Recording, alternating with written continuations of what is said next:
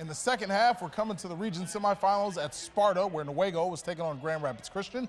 Start with Newaygo on the inbound pass. Emerson Goodwin with the easy bucket. Lions led 29-28. Grand Rapids Christian kept them in the game, though. Here's Evie Dozma with the rebound and putback. She scored 16 points and had 13 rebounds.